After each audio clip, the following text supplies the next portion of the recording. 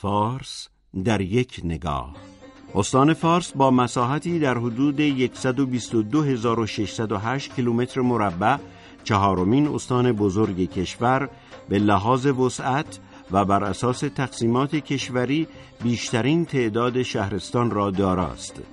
این استان دارای 29 شهرستان، 102 شهر، 48 بخش و 205 دهستان می باشد. آب و هوای استان فارس به سه دسته کوهستانی معتدل و گرم تقسیم می شود. منابع مهم اقتصادی استان فارس بر پایه کشاورزی و دامداری، شهرک های مختلف صنعتی، پالایشگاه ها، صنایع پتروشیمی و نیروگاه های مختلف بنا شده است. استان فارس با وجود جاذبه های متعدد تاریخی، طبیعی و مذهبی یکی از مراکز مهم گردشگری است. همچنین تعدادی از بزرگترین و مهمترین مراکز دانشگاهی ایران در این استان واقع شده است. فارس دارای جاذبه های مذهبی، تاریخی و طبیعی بسیاری است. شهر شیراز توسط مقام معظم رهبری به عنوان سومین حرم اهل بیت در ایران نامگذاری گردیده است.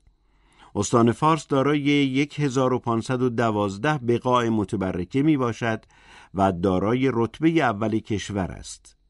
تا کنون 290 جاذبه گردشگری در استان فارس شناسایی شده است.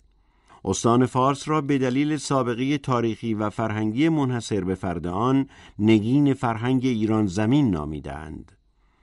این استان با داشتن حدود سه هزار اثر تاریخی ثبت شده در فهرست آثار ملی و چهار اثر ثبت شده در فهرست آثار جهانی رتبه نخست کشور به لحاظ آثار تاریخی و فرهنگی را داراست.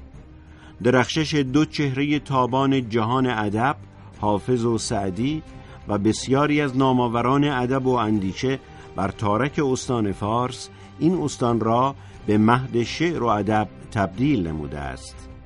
در پهنه تاریخ فارس یکی از کهنترین مراکز تمدن بشری و مرکز تمدنهای بزرگ هخامنشیان و ساسانیان بوده است. پس از اسلام نیز سلسله های نظیر آل بویه، آل مزفر، عطابکان فارس و زندیه این منطقه را به دلیل آب و هوای مناسب و موقعیت منحصر به فرد جغرافیایی و به ویژه منطقه استراتژیک خلیج فارس پایتخت خود قرار دادند.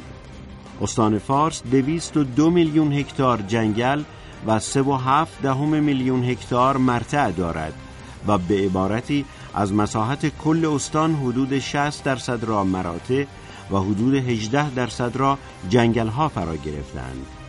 از گونه های گیاهی قالب جنگل های استان فارس می توان به بلوط، بنه، زالزالک، گلابی وحشی، سرو کوهی، بادام کوهی و انجیر وحشی اشاره کرد. گونه های جانوری استان فارس را می توان به دو بخش دستبندی کرد.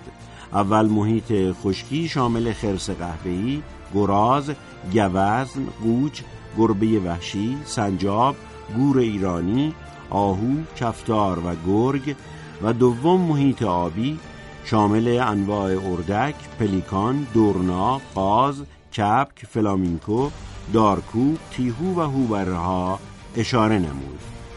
زبان اکثریت مردم استان فارسی است اما گویش مانند شیرازی، لارستانی، قشقایی، سیوندی، دوانی و لوری نیز در این استان رواج دارد.